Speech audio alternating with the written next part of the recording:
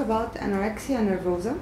Anorexia is becoming a very, very common um, problem, and we're starting to see it more and more often in our services. Even the onset of anorexia became earlier um, than, than the past years. Now we're seeing children starting with anorexia nervosa at the age of 9 and 10. Very simply put, anorexia nervosa um, is a concern and obsession with the weight and the shape of the body. It begins with uh, very simple dieting that moves to a stricter and stricter intake of food and liquids.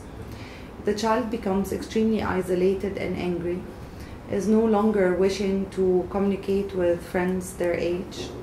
Um, with it sometimes comes excessive exercise or purging or vomiting or even the use of laxatives.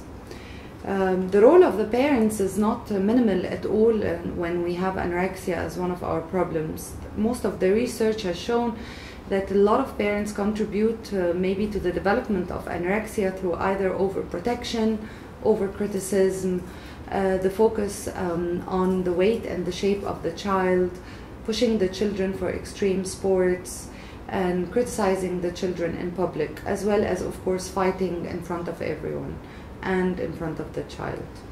It is extremely advisable that um, when we see symptoms of anorexia or when we see the low self esteem and the depression and the isolation that the child be, uh, starts to be in when anorexia is present, to immediately seek help and see our role in it.